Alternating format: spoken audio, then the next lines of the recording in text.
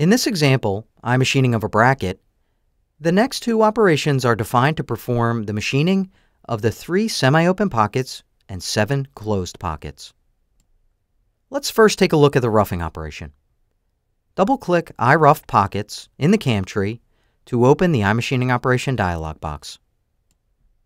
On the Geometry page, click the Show button. Now since all 10 of these pockets have the same depth, they can all be machined in this one operation. The first three chains have edges marked as open, which allows the tool to enter from those edges. Five of the closed chains use the through pockets as entry chains.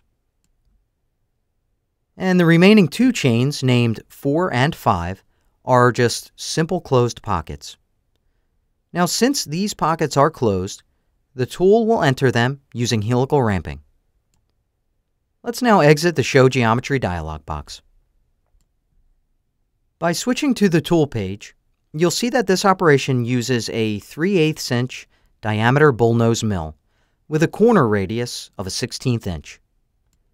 On the Levels page, the pocket depth is defined with no additional delta depth. On the Technology Wizard page, we can see the cutting conditions calculations based on a machining level aggressiveness of 6. By switching to the Technology page, you'll also see that this iRough operation will leave a 10th thou allowance on the walls. Let's now click Simulate to take a look at the iMachining toolpath at work. Using the default HostCAD mode, click the Play button. We'll see that the tool approaches the first three pockets from the open edges. The tool then enters the remaining pockets using helical ramping and the defined entry geometry. Take notice of how these pockets are cleared in only one step down and with iMachining's patented morphing spiral toolpaths, which are able to cut irregularly shaped areas with a single continuous spiral. Let's also look at the simulation using Solid Verify.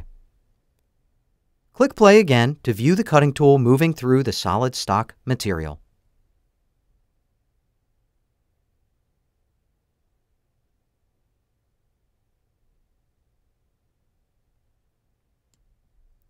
Let's now exit the Simulation Control Panel and the iMachining Operation dialog box, and then open the iFinish Pockets operation by double-clicking it in the CAM tree. This operation was initially created as a copy and is defined to perform the finish machining of the pockets. You'll see again that iFinish was chosen for the technology type. The copied geometry, tool, and milling levels definitions are all carried over from the previous iRough operation. On the Technology Wizard page, the default cutting conditions are also used based on a machining level aggressiveness of 6. Let's now switch to the Technology page. Under the Technology tab, again the wall island offset automatically defaults to 0 and cannot be changed. And again under the iRest Data tab, Note that the previous iRough Pockets operation is selected as the parent operation by default. And the values needed for calculating rest material are automatically populated to the fields. Let's now click Simulate. First, we'll use the default HostCAD mode to view the wireframe toolpath at work by clicking Play. Then we'll look at the machining of our part again in Solid Verify. Using the slider, go ahead and first slow the simulation speed down and then click the play button.